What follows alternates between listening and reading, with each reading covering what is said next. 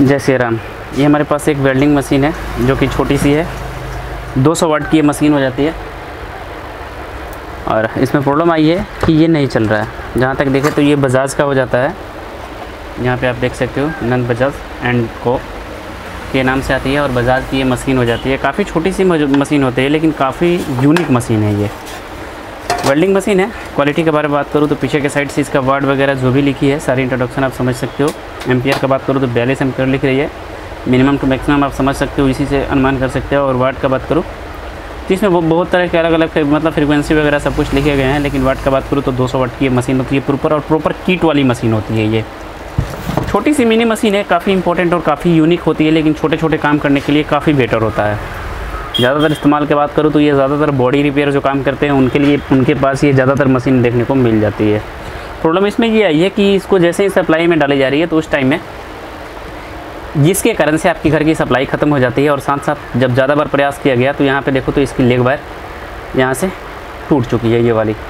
और यहाँ से स्पार्क होकर के ये वाली कनेक्टर, जो कि इसमें डीसी जो एक है डेवोड जो लगाए गए रहते हैं ब्रिज डीसी डेवोड ये आपका एक वाला जो इनपुट लेग होता है, वो आपकी डेड हो गई है। तो इसको देखते हुए हमको एक चीज़ समझ में आती है कि हो सकता है इसके अंदर जो शॉर्ट सर्किट हुआ होगा, जिसके कारण से इस तरह की प्रॉब्लम आ सकती है। चलिए, सर्वप्रथम तो मैं इसका कंटिन्यूटी टेस्ट कर लेता हूँ कि आखिरकार हमारी जो ये वाली ब्रिज डाइवोड है, इसके अंदर कोई कंटिन्यूटी वगैरह तो नहीं है, क्योंकि अगर कंटिन्यूटी होती है तो फिर आपकी ब्रिज डाइवोड शॉर्ट है।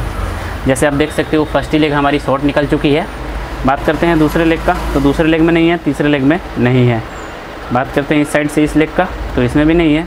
चलिए साथ तो साथ इनपुट टू इनपुट इसका टेस्ट करते हैं। तो इनपुट टू इनपुट टेस्ट करें तो ये भी हमारी पूरी फुल शॉर्ट है तो मतलब गारंटी के साथ इससे अगर सप्लाई देते हो तो फिर शॉर्ट लगनी तो निश्चित है। तो सर, प्रथम तो प्रॉब्लम हमको एक सामने ही स्पष्ट रूप से ये आ गई कि इसकी स्विच वगैरह तो पहले से ही डाइबोर्ड मतलब डायरेक्ट की गई है, लेकिन ये जो ब्रिज डाइबोर्ड है इसका, सर, प्रथम तो इस ब्रिज डाइबोर्ड को हम चेंज करेंगे। ब्रिज डाइबोर्ड चेंज करने के बाद अगर डायरेक्टली आपका 24 वोल्ट ट्रैकर को मिल गया तो फिर ये ऑन हो जाएगी। अगर नहीं मिला तो नहीं ऑन होगा। तो आप देखेंगे, ये वाली ब्रिज डाइबोर्ड होती है हमारी। कैपेसिटी की बात करूँ तो यहाँ पे आप देख सकते हो, इस पर लिखी गई है एम बी पैंतीस बारह। सेम टू हमारे पास एक ब्रिज डाइबोर्ड ये भी है। आप देख सकते हो, पैंतीस दस की ये हो जाती है, पैंतीस बारह की हो जाती है और ये पैंतीस दस। के बी पी की ये ब्रिज डाइवोड होती है, जो कि काफ़ी बढ़िया होती है। चलिए इसका कनेक्शन करते हैं। एक चीज़ ये भी इसमें ध्यान रखना कि इसकी जो लेग वायर होती है ना, इसमें कुछ आप डिफरेंस देखने को मिल सकती है। क्या डिफरेंस देखने को मिलेगी? चलिए लेग वायर पे ही आपको विशेष रूप से आते हैं। सारी लेग को देखना, एक लेग इसमें आपको डिफरेंस मिलेगी। बल्कि ये सारी जो चीज़ तीनों लेग है, ये आपका सेम डायरेक्शन में होगा, लेकिन ये वाली जो लेग है, ये आपका अलग डायरेक्शन में होगी। क्यों? क्योंकि ये प्लस की पॉइंट होती है और ये प्लस की और ये सामने वाली माइनस की होती है और ये ए इनपुट और ये ए इनपुट की होती है। चलिए सेम टू यू इसमें भी डायरेक्शन यहाँ दिए गए हैं। ये वाली प्लस की जो पॉइंट होती है यहाँ पर तो ये वाली प्लस की पॉइंट कभी भी यहीं पर आएगी हमारी। तो ये हमारी पुरानी वाली ब्रिज डाइवोर्ड निकली है, जिस, जिसका कि एक लेग हमारी पहले से ही शॉर्ट हो गई थी, ऐसे देखो। ये स्पार्क मारी और ये जो लेग है ना, ये आपका शॉर्ट हो गया। तो इसके जगह पे जैसे मैंने आपको बताया, हमारे पास ऑलरेडी एक ब्रिज डाइवोर्ड है, ये वाली। तो हम इसके जगह पे अभी यूज़ करने वाले हैं। दोनों का वेट का बात करूँ तो काफ़ी बढ़िया टाइप इसका क्वालिटी लग रहा है बिल्ड क्वालिटी है। और इसमें प्लस और माइनस दोनों के सिंबल बनाए रहते हैं, इस चीज़ को ज़रूर नोटिस करना। और यहाँ पे देखो तो ये प्लस वाली पॉइंट होती है। इस पर प्लस की पॉइंट लिखी रहती है और सेम टू यू यहाँ भी प्लस की पॉइंट है। तो ओनली वन प्लस को प्लस के साथ देखते हुए तो हमने इसे देखो, ब्रिज डाइवर्ड वगैरह सब कुछ डाल रखे हैं। कनेक्शन भी हमने कर लिया हुआ है। जहाँ तक इसका थिम का बात करूँ तो थिम तो मैंने बाद में भी चेंज कर लेंगे, क्योंकि अभी देखो तो ये थिम लंबरी हुई दिख रही है।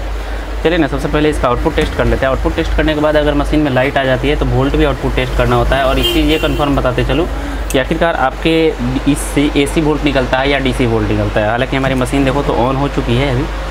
ऑन हो चुकी है अभी 91 पे चल रहा है। जैसे जैसे आपके मैं प्रीसेट को मोड कर रहा हूँ तो ये फिर देखो आप 225 वोल्ट तक चली गई है। 225 वोल्ट डीसी शो कर रहा है, लेकिन ये एम्पियर जो भी होती है ना, इसकी रेजुलेशन वहीं शो कर रही है, लेकिन अब इसका वोल्ट देखते हैं कि इसका आउटपुट वोल्ट कितना आने वाला है। जैसे मीटर की बात करूँ तो आप 60 से लेकर 50 से लेकर के और 60 वोल्ट डीसी के बीच में आउटपुट करता है तो आप देख लेना हमने मीटर को दो सौ पर फिक्स कर रखी है और दो सौ पर फिक्स करने के बाद अब मीटर, हम इसको आउटपुट टेस्ट करते हैं। ऐसे देखो तो ये हम अभी आउटपुट टेस्ट कर रहे हैं इसका तो आउटपुट में आप देख सकते हो हमारी वोल्टेज कितनी आ रही है अभी।